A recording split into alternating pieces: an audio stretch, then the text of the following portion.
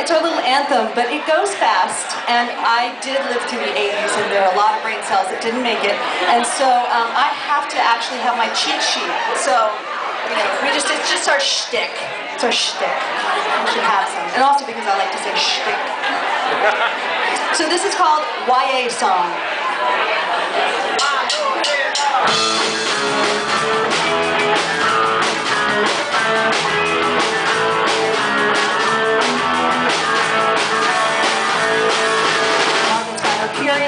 she won the chocolate war. There's a punching bag, a last request, and two of our fellows who are never born. Belinda will not speak at all. She's the one has AIDS now, Agnes has to kill them all. The captain,